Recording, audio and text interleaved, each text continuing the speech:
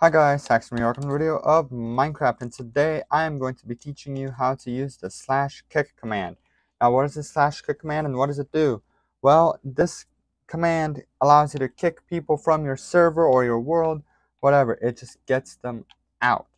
It's not like a ban where they can't join again. It's just that it gets them out. So let's say you want to reset something or you want to give them a little bit of warning.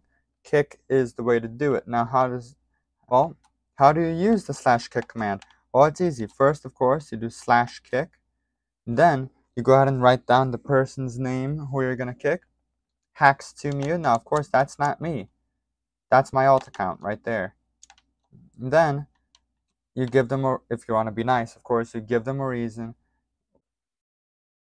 why they were kicked, which is subscribe lol.